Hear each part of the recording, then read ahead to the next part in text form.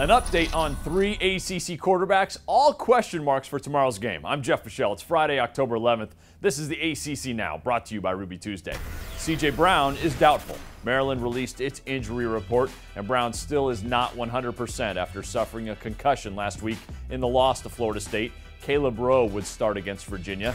Brandon Mitchell worked out for NC State yesterday with no pain in the foot that got broken week one.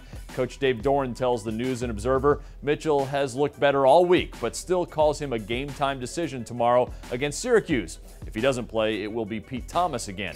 Anthony Boone is also a game time decision for Duke. David Cutcliffe says scans on Boone's broken collarbone look good but they're going to put him through as many real game scenarios as they can today before they make a final decision on him or Brandon Connette. Virginia Tech cornerback Antone Exum won't play against Pitt. Smart move by the Hokies, being cautious with Exum coming back from a torn ACL. But it is a huge game. The Hokies undefeated in the ACC. The Panthers just one loss.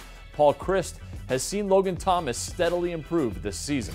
I think they're settling in. You know, it looks like as they keep evolving, and, and obviously, you know, tremendous athlete and, and talented quarterback, and and you know, if he's going, I think their team is going. So, uh, you know, it's a it'll be a challenge for us.